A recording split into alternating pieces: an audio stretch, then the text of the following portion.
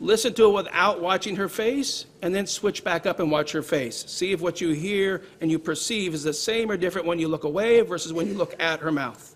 Okay, here we go.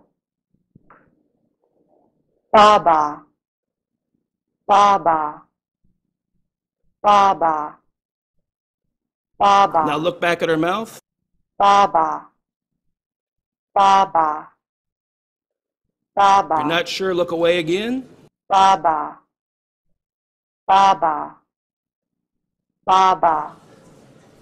What she's saying with her mouth movements is actually gaga.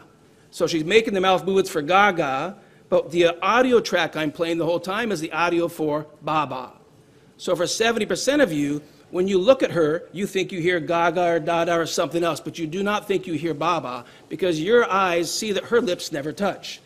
And her mouth can't say baba if her lips don't touch. When you look away and you're getting acoustic only input, you perceive baba because that's actually what the ear is hearing the whole time anyway. But what this shows us is when you have a stronger phonological system and it is multisensory based, your visual will override your acoustic every time. What you see the mouth doing will, com- will definitely override what the ear thinks it's hearing. Ready to begin your dyslexia success story? Our evidence based methods can help. Visit our websites and contact us today. Links in bio.